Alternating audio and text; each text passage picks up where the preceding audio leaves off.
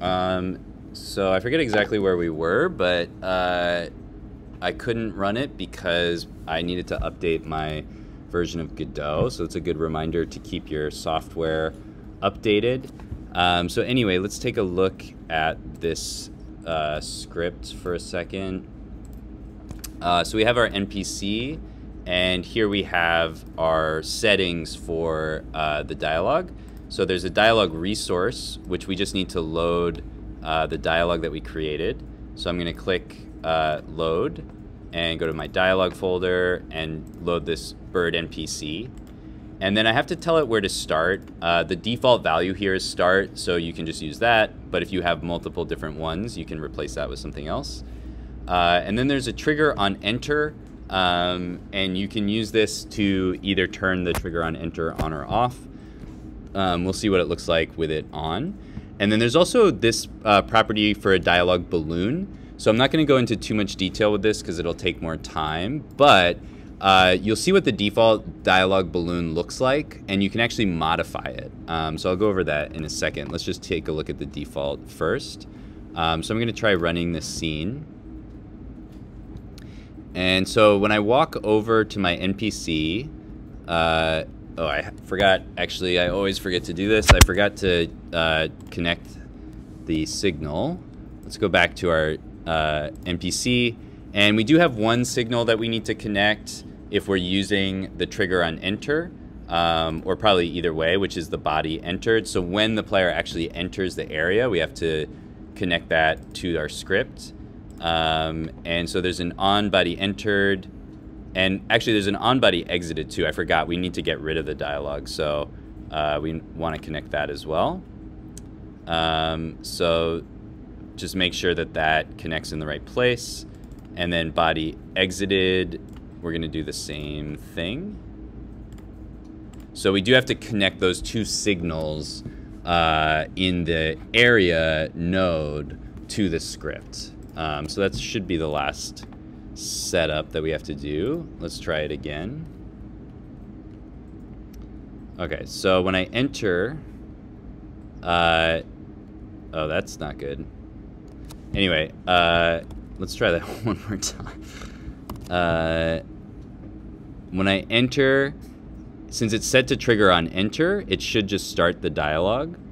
Um, it shouldn't keep moving the player I'll have to look at, at what's happening with that. But anyway, we see the dialogue, and then if we hit enter, it'll just go through the dialogue.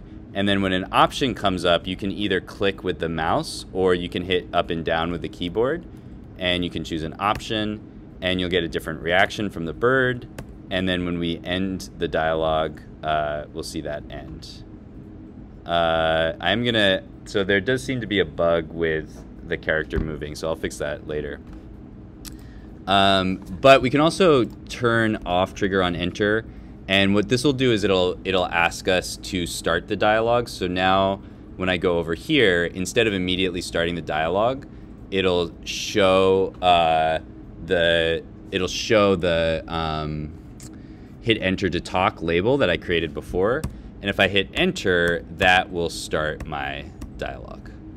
Uh, so there's a couple options. Of course, you can extend that and do more stuff with that. You can change the design. Um, those are just kind of the basic options. Um, if you want to change the way the dialogue balloon looks, that's sort of like the basic. But if you want to change the design, you can. And there's a tool that's built in for that. If you go to Project and Tools, um, part of the dialogue manager system is this uh, tool here to create a copy of the dialogue balloon.